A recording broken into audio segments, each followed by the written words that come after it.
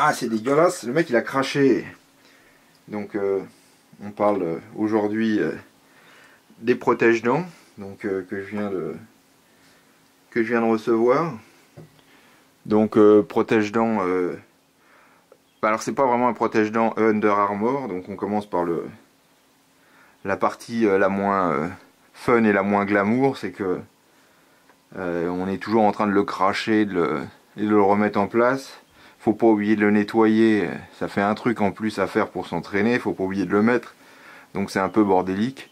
Tout ça pour euh, contraster avec euh, les arguments publicitaires euh, qu'on nous sort sur le produit en question. Donc pourquoi ce protège-dents Donc Cutler vante les mérites. Donc des protège-dents j'en ai eu, là c'est mon deuxième celui-là. Donc un truc classique voilà, donc euh, protège-dents qu'on trouve dans tous les magasins pour la boxe, pour euh, le rugby, sport de contact, etc. Donc euh, on le met dans l'eau chaude, on prend l'empreinte de ses dents et il, colle parfaitement. Le problème de ces protège-dents classiques, donc à quelques euros, hein, je crois que c'est 5 euros maxi, le problème c'est que si on ouvre la bouche pour respirer, il a de fortes chances de se faire la malle, ou de plus être placé bien comme il devrait l'être. Et puis, ben, euh, le problème, c'est que ça fait gagner de la force parce qu'on serre les dents, mais pendant qu'on serre les dents, on peut plus respirer. Donc, euh, c'est pour ça que maintenant, il y a euh, l'Under Armour. Donc, c'est pas vraiment un protège-dents. Hein. Faut pas, si, si quelqu'un vous file un gros coup de poing dans la gueule, ça protégera pas du tout vos dents, contrairement à, au protège-dents classique. Donc, on appelle ça un protège-dents, mais c'est pas du tout tout ce que ça protège, c'est euh, les molaires du haut par rapport aux molaires du bas.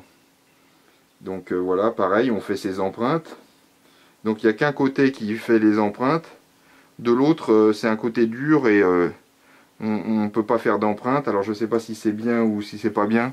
Au début, c'est un peu gênant parce qu'on n'a pas l'habitude que nos dents s'encastrent comme ça.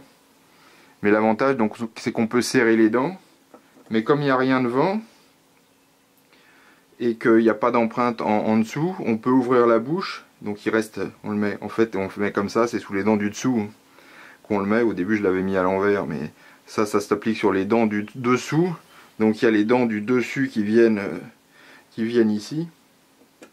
Donc l'avantage, c'est qu'on peut serrer les dents. Donc moi, euh, grosso modo, ça me fait à peu près gagner 10% euh, de force. Mais le gros avantage, donc quand on a les dents serrées, Là, euh, contrairement à quand euh, on n'a pas de protège-dents, enfin de protège-dents entre guillemets, euh, la bouche reste ouverte avec le protège-dents. Donc on a du genre 1 cm, ce qui fait qu'on peut continuer à respirer par la bouche sans desserrer les dents, ce qu'on ne peut pas faire entre guillemets naturellement. Donc c'est ça le gros avantage de, de ce truc-là qui vaut très cher, je trouve, pour le prix. Quand on voit ce que c'est, j'ai payé plus de 30 et quelques euros. Et en plus c'est difficile à trouver. Mais enfin, si vous pouvez les avoir pour les États-Unis, je pense que c'est moins cher, sauf pour le transport. Donc euh, c'est l'avantage, c'est qu'on peut serrer les dents et respirer en même temps. Donc c'est pour ça que leurs études médicales montrent des gros gains euh, euh, incroyables. C'est qu'évidemment, s'ils ont fait que les mecs ils, devaient courir en serrant les dents sans protège-dents, ils, vont, ils devaient s'asphyxier rapidement.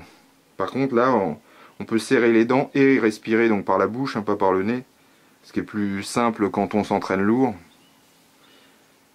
Donc euh, voilà le, gros avantage et on ne s'abîme pas les dents parce que c'est toujours embêtant de serrer les dents quand on n'a pas de protège-dents. Donc euh, bon il faut quelques séries pour, euh, s'y habituer mais après après ça, va relativement vite. Bon le problème c'est qu'entre les séries est-ce qu'on le retire ou on le garde? Si on tourne vite on, le, garde. moi qui tourne lentement bah, je le retire entre chaque série. Donc faut pas oublier de le remettre, ça c'est un peu embêtant parce que si on commence sa série, on sent tout de suite qu'il manque quelque chose et puis on dit ah j'ai oublié de le remettre. Ce qui est un, classique. Et puis ben, les, problèmes de nettoyage, on est toujours en train de le nettoyer. Donc ça c'est un peu c'est des contraintes euh, supplémentaires pour l'entraînement. Mais euh, je pense que c'est euh, quand même un bon produit qui devrait durer dans le temps.